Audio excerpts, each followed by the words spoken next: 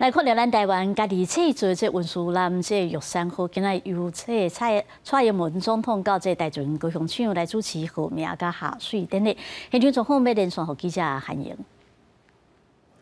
好，主播呢？这一艘就是海军最新型的新型船坞运输舰，它的舷号是一四零一，并且是取名为玉山哦。海军表示说，希望取名玉山，就是有不畏攀爬高山、不畏艰难的精神。那么，总统蔡英文呢，稍早也到的高雄的台船亲自主持下水典礼。我们先来听一段蔡英文的最新访问。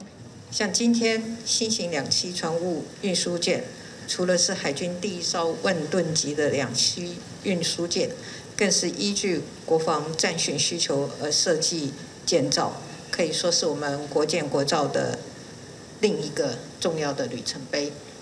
相信有了这艘运输舰的加入，一定能够强化我们海军执行任务的能力，让我们的国防力量。更加的坚持。